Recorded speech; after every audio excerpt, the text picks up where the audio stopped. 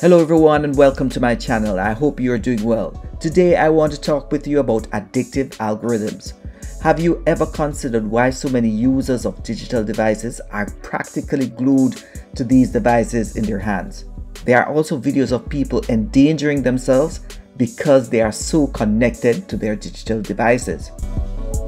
Hold on, before you advance to the main part of this video or scroll to another video, consider what is causing you to do so.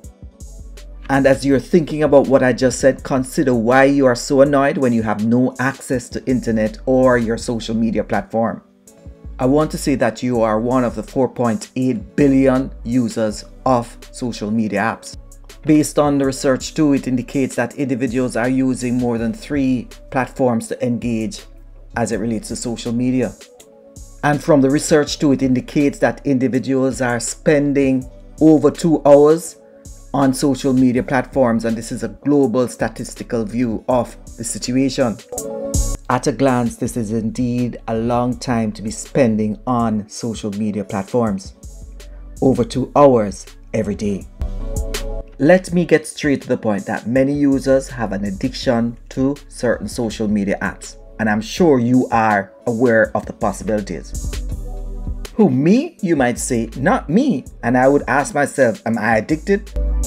I'm sure once you hear the word addiction, you're going to see that you're not addicted. Of course, you will see that. Anyone, the first thing is denial. But let us go a little bit further. An addiction is an urge to do something that is very difficult to control or to stop. This simply means if you have an uncontrollable desire to use your mobile device at all times and this desire interrupts your physical interaction with others, limits your productivity, causes you emotional stress and anxiety, then this behavior can be deemed as addictive.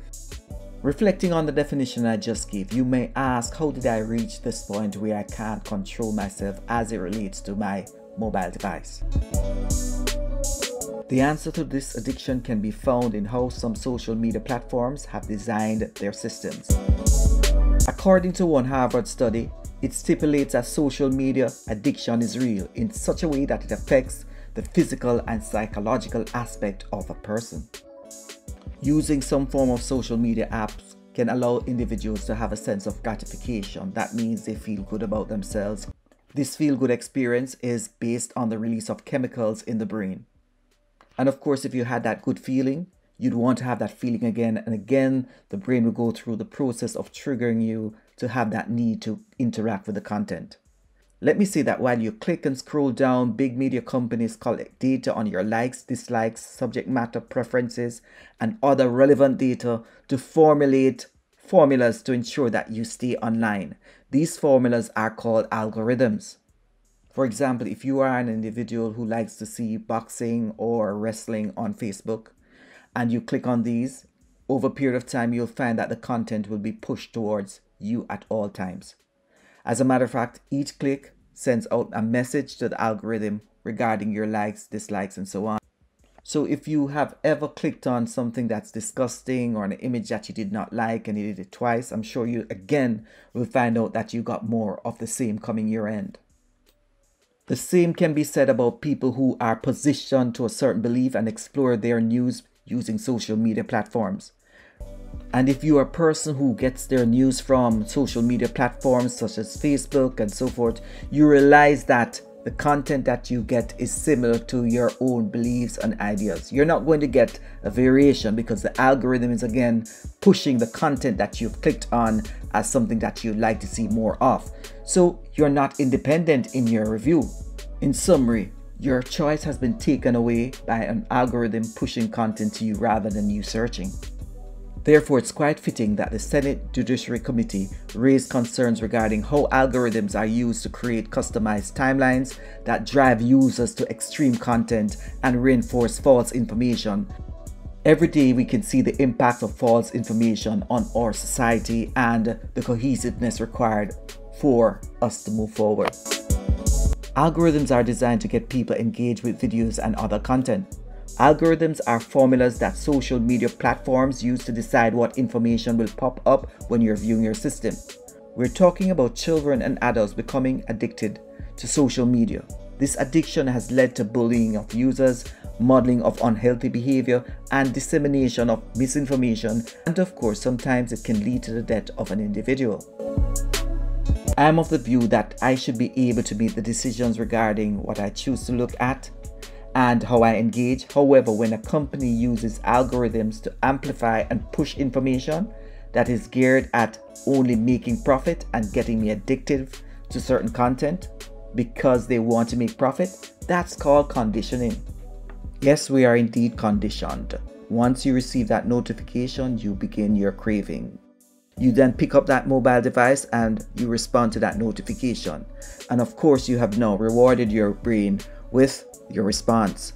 And of course, you have responded and you have provided additional data for these social media companies. Based on what is happening, it is clear that we cannot ask these companies to patrol themselves. Therefore, policymakers must now think seriously about these social media applications that are designed to ensure that users do not leave that platform. While many will say that everyone has a responsibility to ensure that their social media practices are okay, many of these social media companies have purposely pushed and amplified content to us as users to ensure that we are conditioned to stay on their platforms. However, as I say this, I want us to be real. Social media is indeed a good thing. However, I am sure that we did not give these companies permission to condition us and our children. Therefore, if you find yourself unable to stay away from your device, unable to ignore notifications, unable to communicate with your family without staring on the screen, or finding out that your only source of comfort is your digital device, you're indeed addicted. Let me say that all is not lost. I think we are at a stage that we must make changes. We must make changes to how we use and interact with social media platforms. I think it's time for us to critically reflect on how algorithms have somewhat dictated our lives and our attractions towards certain social media apps. Some individuals are practically dysfunctional if they do not have their mobile devices. The reality is we have to kind of take control. We cannot allow these social media apps to control us because when they control us, it affects those who are around us, it affects our productivity, and it affects our physical and mental well-being.